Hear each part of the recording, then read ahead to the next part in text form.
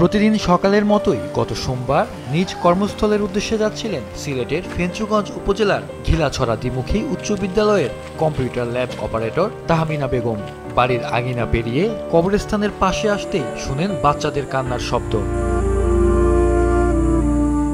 কবর জিয়ারত করতে আসা এক যুবকও এ কান্না শুনে হতভম্ব হয়ে যান। কাছে গিয়ে দেখতে পান, কবরের ওপর পড়ে আছে রক্তমাখা নারী জড়ানো সদ্য ভূমিষ্ঠ এক ফুটফুটে নবজাতক শিশুকন্যা। এ দৃশ্য দেখে ভয় পেয়ে যান এলাকার সবাই। ওই যে একটা কবরস্থান আছে এই কবরস্থানের মধ্যে মানে বাচ্চাটা রাখা ছিল।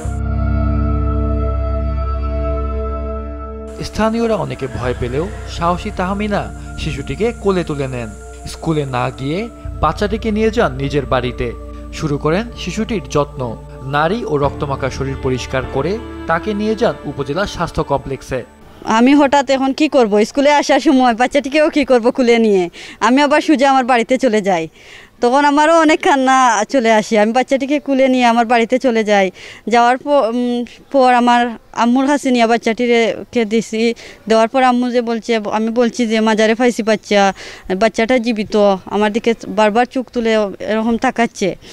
তখন আমার আম্মু সাথে সাথে সাথে বাচ্চাটিকে গরম পানি করে গোসল করালেন, তারপর তেল দিলেন, সব মানে পরিষ্কার করলেন, চুলগুলো পরিষ্কার করলেন।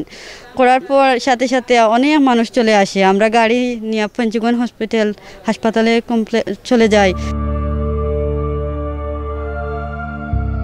তাহমিনার বড় বোন নিঃসন্তান, তাই শিশু কন্যাটি নিজের বোনের কাছে রাখতে চান তিনি। নিজের মতো করে গড়ে তুলতে চান মানুষের মতো মানুষ করে। ভালোবেসে নবজাতকের নাম রেখেছেন ইশিতা জান্নাত তাসনিম। আমি চাই যে আমার বোনের কাছে বাচ্চাটা থাকুক তাহলে আমিও দেখাশোনা করতে পারব বাচ্চাটা সারা জীবন আমরা লেখাপড়া করাতে পারব ভালো মানুষ হিসেবে গড়ে তুলতে পারব এটাই আমি চাই যে বাচ্চাটা আমাদের কাছেই থাকুক।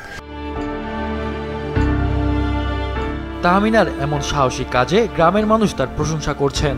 তবে যে বা যারা শিশুটিকে ফেলে গেছে তাদের এমন অমানবিক কাজের জন্য সামাজিক অবক্ষয়কে দায়ী করছেন তারা। এখানে ফজরের নামাজের পর থেকে অনেক মানুষ কিন্তু এখানে কৃষিক্ষেত আছে সবজি ক্ষেত আছে নামে রাস্তায় আসে আসা যাওয়া করে।